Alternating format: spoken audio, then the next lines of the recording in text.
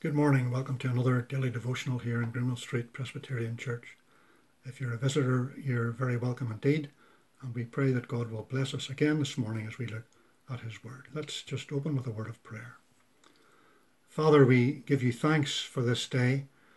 We thank you for the opportunity we have to, to turn to your Word. We uh, are free to do so, unlike so many of our brothers and sisters uh, around the world. And not only are we free to look at your word and to turn to your word, but we have your word in various uh, translations of our own language. And we, we thank you for that, for the, the freedom and the, the heritage that is ours through those who have uh, walked this way before us in this part of the world. And we pray that wherever we are listening this morning, that you would bless each one of us and help us each to focus our eyes on Jesus, the author and perfecter of our faith for we pray in his name.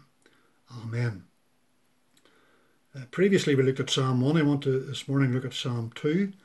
Uh, and I'm going to read from Psalm 2. Uh, so, this is the Word of God. Why do the nations conspire and the peoples plot in vain?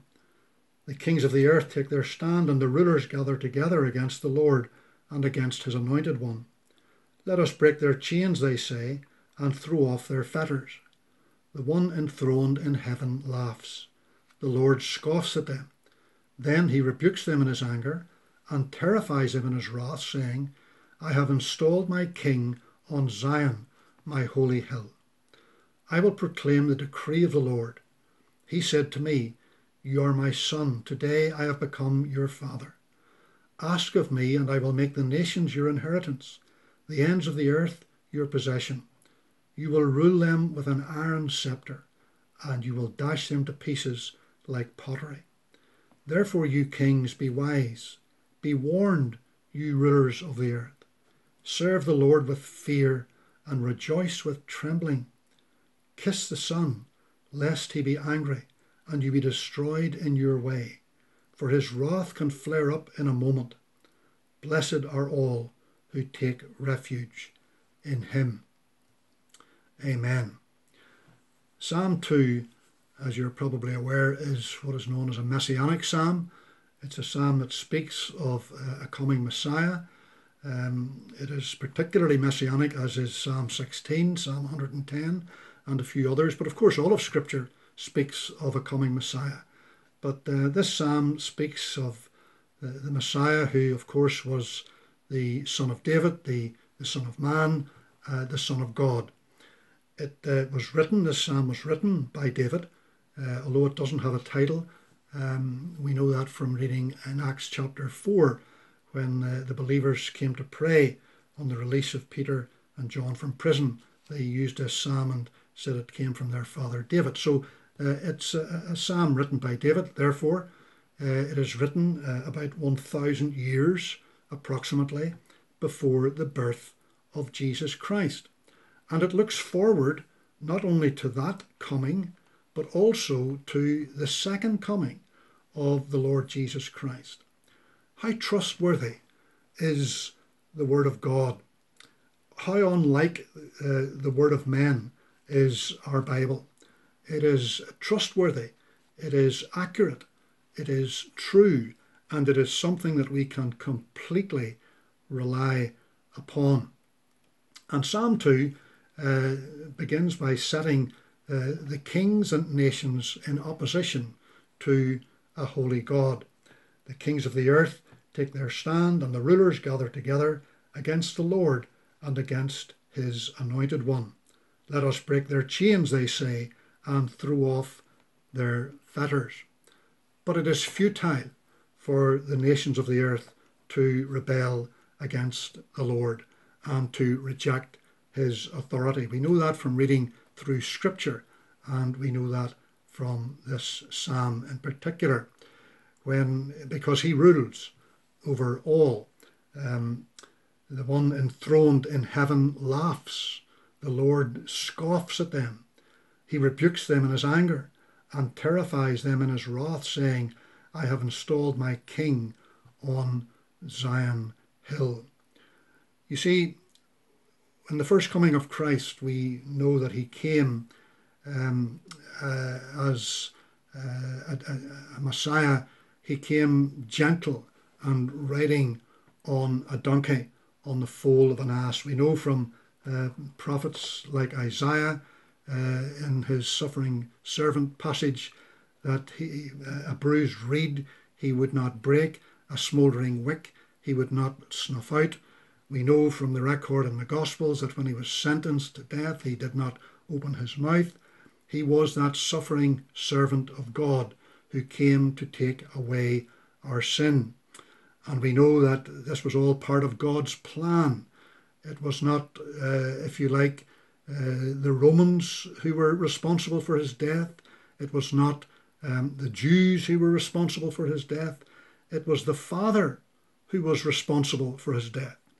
This is love, says John, not that we loved God, but that he loved us and sent his Son as an atoning sacrifice for our sins.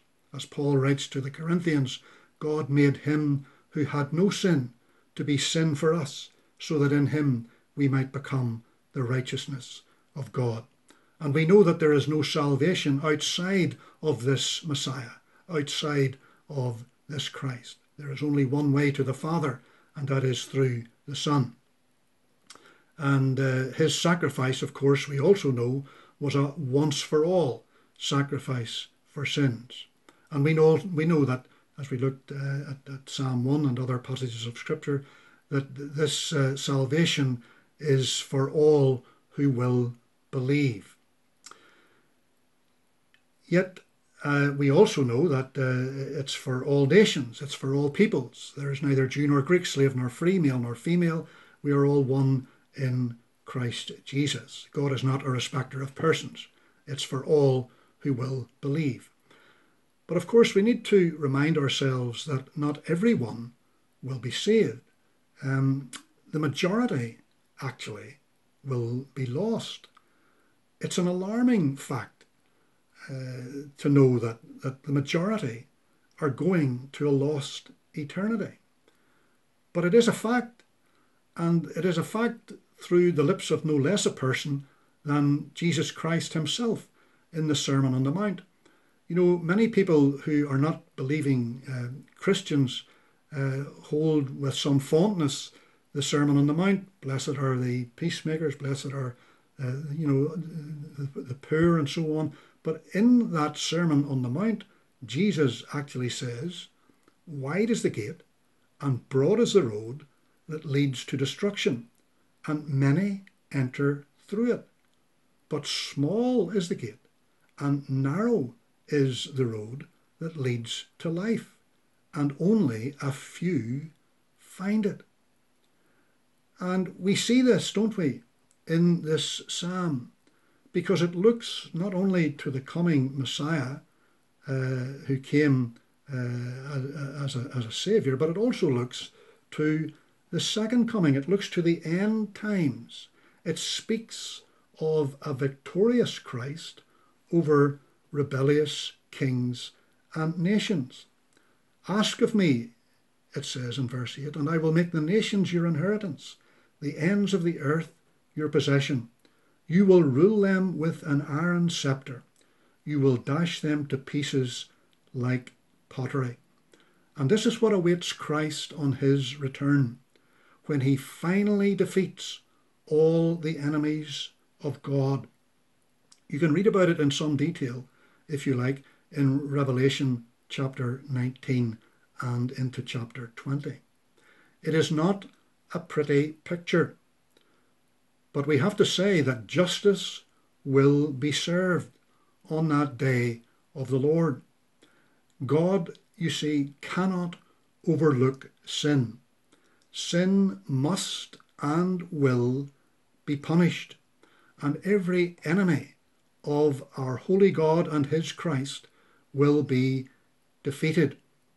And as the psalmist says in this psalm, therefore, you kings, be wise, be warned, you rulers of the earth. Serve the Lord with fear and rejoice with trembling. Kiss the Son, lest he be angry and you be destroyed in your way for his wrath can flare up in a moment. Blessed are all who take refuge in him. Thankfully, we still live in the gospel age, in the day of grace, those days between his first coming and his second coming, those days in which there is an opportunity to repent and believe the gospel, to trust and believe in Jesus Christ as Saviour and Lord. The psalmist says here, kiss the Son. He could well have said, believe the Son. Believe in the Lord Jesus. When the apostles were asked on one occasion, What must I do to be saved? Believe in the Lord Jesus Christ, and you will be saved. The psalmist here says, Kiss the Son, lest he be angry, and you be destroyed in your way. Interesting, isn't it? As we looked at Psalm 1, we noticed that there was two ways. There was God's way and man's way. And for those who are in their own way, for those who are doing it their way and have no regard for the things of God, have no uh, respect for the cross of Jesus Christ, then they are going to be destroyed in that way. There's only two ways. There's the way of God. As the psalmist in Psalm 1 says, the Lord watches over the way of the righteous, but the way of the wicked will perish. You see, the Son's wrath can flare up in a moment, and we would be destroyed in our way were we not to be found in him.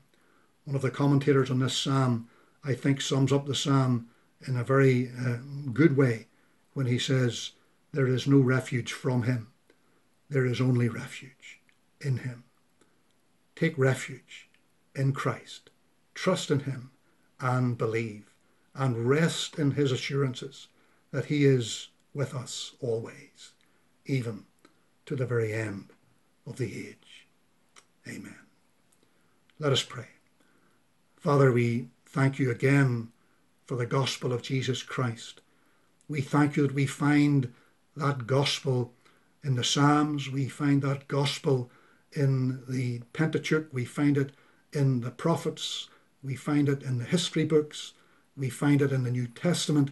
It's all throughout the Bible because it is your word and your word speaks purely about Jesus Christ and his coming as Redeemer and Lord.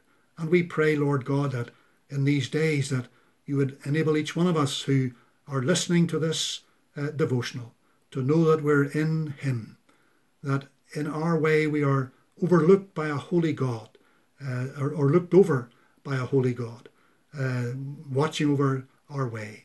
We pray, Father, that for those who do not know Christ as Saviour, that in grace and mercy you may allow them to see Jesus Christ for the very first time as their Saviour, dying on the cross to cover their sin and enabling them to put their trust and faith in Christ as Saviour. And to those of us who already know Him in that way, help us to focus our eyes on Him, who is the author and the perfecter of our faith. For we offer this prayer in His name and we pray for His sake. Amen.